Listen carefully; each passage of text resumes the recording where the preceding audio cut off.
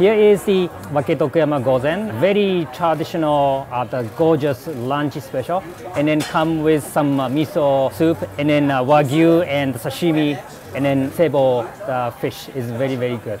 Gozen, Wake Tokuyama Gozen means uh, not a bento box. The originally the kind of samurai person have a gorgeous meal that's what I believe. And then uh, uh, so much ingredient, not only one or two item to it. This is about 30 item. So that's all about the gozen for me.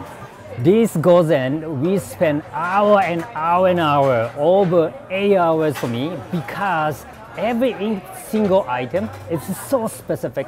Even though piece of the soybean, it takes two days to do it. And then also that uh, uh, the little tiny the vegetable, we spend hour and then specific curving and then a knife technique. It's all about the, the very detailed job.